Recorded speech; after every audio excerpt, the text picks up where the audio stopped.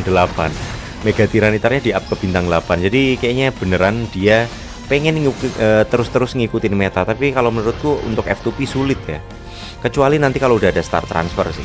Itu udah tinggal di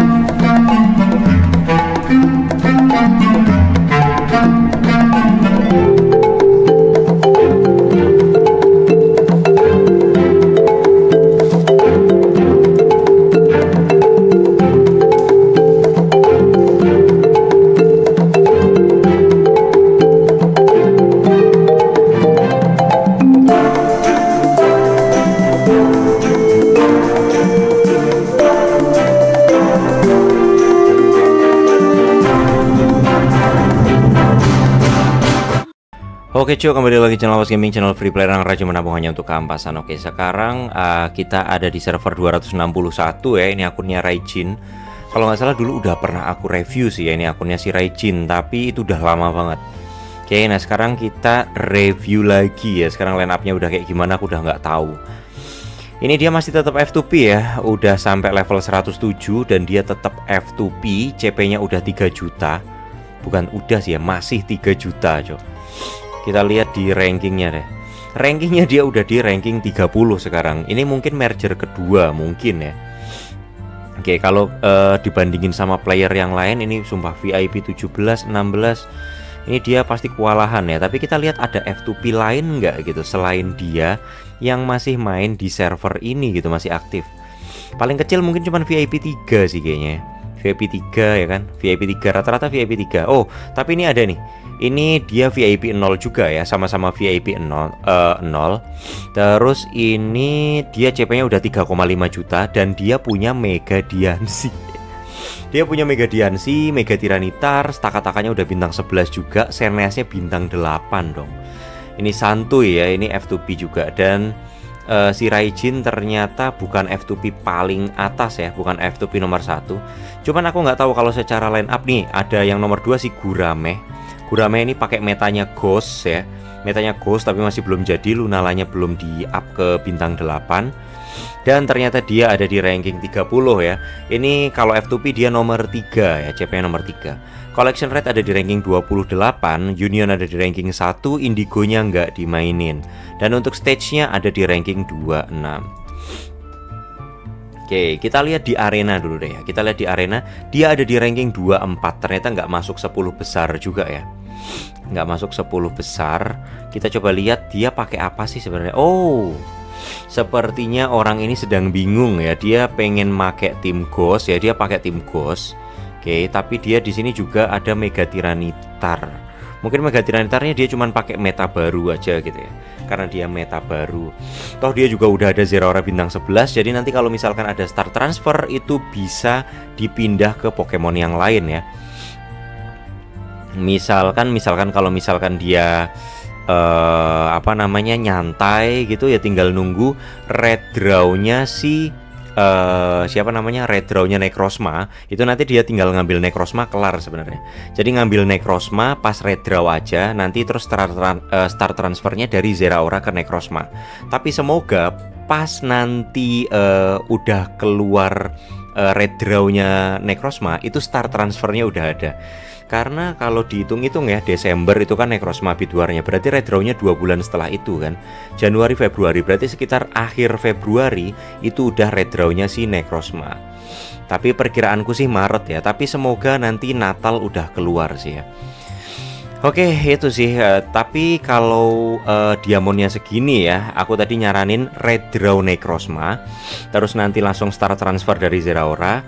Terus ambil bidwarnya Miu Origin jadi ambil bidwarnya Mio Origin di bintang 8in aja menurutku udah cukup sih ya.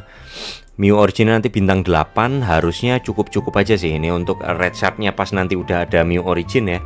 Ke bintang 8 eh, katakanlah ranking 3 gitu atau ranking 2 biar nggak terlalu berat ke bintang 8 nya kayaknya soalnya ini juga player lama mainnya udah santai kan. Mainnya udah santai tinggal nabung-nabung doang Kayak kalau saranku sih kayak gitu ya. Jadi ambil Necrozma, terus nunggu start transfer, tinggal transfer si Zeraora, sama ambil Mew Origin bintang 8. Karena ini timnya juga pakai Ghost kan ya. Timnya pakai Ghost, jadi Lunalanya nih nanti juga bakal ngebuff uh, Psychic. Terus Mew Originnya juga bakal ngebuff si uh, Necrozma sama Lunalanya sendiri. Udah nanti tinggal ini digantiin pakai Necrozma, tes, oke okay, terus si siapa ya? Masa Serneas sih? Kalau nggak Serneas ya, ini ganti Necrozma, Serneasnya digantiin sama Mew Origin. Nah untuk Mega Gengar ini nanti bisa diganti Pokemon Ghost yang lain gitu ya. Kali Rex kayak atau apa yang baru nanti gitu. Kalau misalkan uh, ini cuma untuk ngaktifin ini. Nah tapi kalau misalkan nggak mau diaktifin juga ya, jadi lah nggak usah ngilang-ngilang deh, nggak penting sekarang ngilang-ngilang Ghost ya. Jadi ini diganti Mew Origin, ini diganti Necrozma. Itu kalau aku ya, kalau aku pakai akun ini pasti aku bakalan ngelakuin itu. Oke, sekarang kita coba untuk arenanya ya. Kita coba untuk arena lawan tim Steel deh ya. Kita coba lawan tim Steel nih. Ini ada di ranking 21. Kita coba lawan tim Steel apakah bisa tim kayak gini ngelawan tim Steel? Harusnya bisa banget sih, harusnya ya. Karena dia pakai tim Ghost. Kayak Lunalanya udah bintang 8, Marshadow-nya bintang 8, Zeraora bintang 11. Dia juga ada Mega Tiranitar bintang 8 ya jadi line upnya ya uh, sebenarnya line upnya ya kalau dibilang bagus ya enggak juga ya. Biasa aja sih ya line upnya lebih ke biasa aja. Oke karena dia juga nggak all in ghost. Ini kelihatan kalau dia tetap pengen ngikutin meta ya. Kelihatan dia tuh nggak bisa uh, dia tetap nabung tapi dia tetap pengen uh, ngikutin meta nggak bisa ngeskip meta gitu. Jadi dia bawa Zeraora di situ kan terus dia bawa Marcedo sekarang tim Ghost terus sekarang dia juga pakai Mega Tiranitar dan di up ke bintang 8 Mega Tiranitarnya di up ke bintang 8 jadi kayaknya beneran dia pengen uh, terus-terus ngikutin meta. Tapi kalau menurutku untuk F2P sulit ya. Kecuali nanti kalau udah ada start transfer sih itu udah tinggal di transfer transfer doang Cuman ya start transfer itu maksimal satu ya yang uh, yang nggak permanen. Kalau yang permanen pun maksimal juga satu. Jadi ya paling nggak cuma dua Pokemon yang bisa diganti gitu. Walaupun yang permanen ya start transfer permanen itu nanti bakalan ada banyak ya. Uh, start uh, uh, start transfer permanen itu nanti bisa lebih dari satu kali.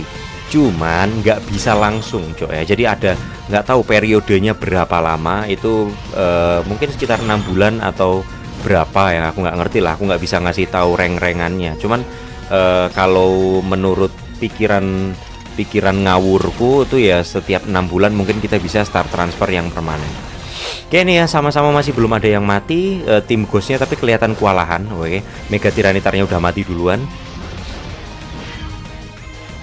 Ya kan, karena menurutku kalau Mega Tiranitar kalau misalkan nggak sama Mega Diansi itu rada-rada ini ya.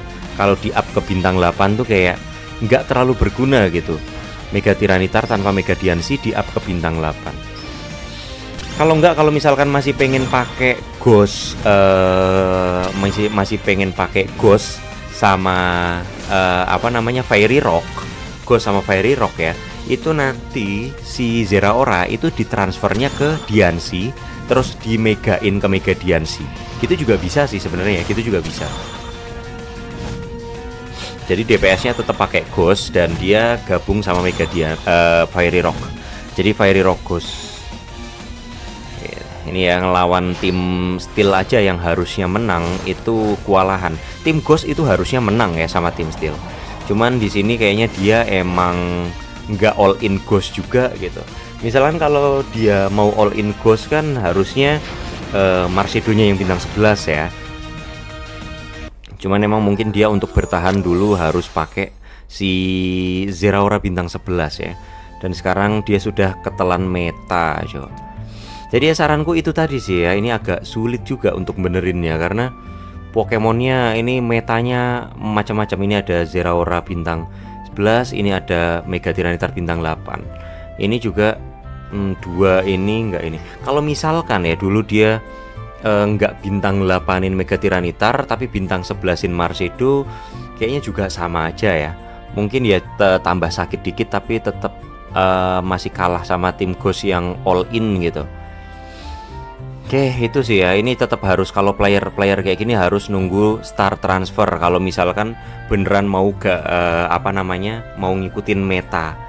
Mending aku stop di sini aja dulu untuk uh, ngikutin. Kalau saranku tadi kan build tim psychic kan. Build tim psychic itu nanti juga agak repot. Itu jadi ngikutin meta terus nanti ya. Kalau aku ya itu nunggu start transfer terus buang si Zeraora biar metanya itu antara yang bisa dipilih ya meta yang bisa dipilih itu antara Ghost Psychic. Kalau nggak Ghost uh, Fairy Rock. Nah kalau Ghost Fairy Rock itu rada lama nanti buildnya karena Zeraoranya harus dipindah ke Diansi Diansinya harus jadi Mega dulu yang paling gampang ya yang aku bilang tadi Psychic Ghost ya. Jadi ambil Mew Origin sama Necrozma. Dah tinggal ngebuang si Zeraora Nanti Mega Tiranitar bisa dipindah ke Mew Origin. Kalau mau hemat banget ya. Kalau mau hemat banget. Jadi untuk Zeraoranya di start transfer permanen ke Necrozma. Mega Tiranitarnya itu di start transfer yang nggak permanen ke Mew Origin. Itu paling murah ya Itu paling murah. Tapi waktu nunggunya agak lama sampai rilis ya Kayak untuk sementara kayak gitu ya. Ini tadi showcase dari F2P yang menurutku ya dia uh, berusaha untuk mengikuti meta tapi jadinya malah tenggelam sendiri, cuy. Oke, kayaknya dulu dia di arena bisa top 10 gitu ya. Sekarang udah sulit banget masuk ke top masuk ke top 20 aja udah ke udah sulit ya, snap-snapan terus.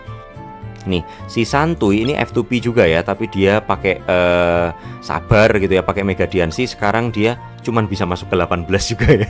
Aku kira bisa top 10 gitu. Kayak STY Gaming ini juga banyak ya ternyata F2P F2P yang uh, pakai Mega Diansi masuk di 20 besar di server ini ya. Oke ini ya ini untuk akunnya Regin gimana menurut kalian coba tulis di kolom komentar. Kalau akun kalian gimana? Coba bandingin sama akun ini. Oke, aku cukupin dulu sampai sini. Kalau kalian suka dengan video, klik like, share.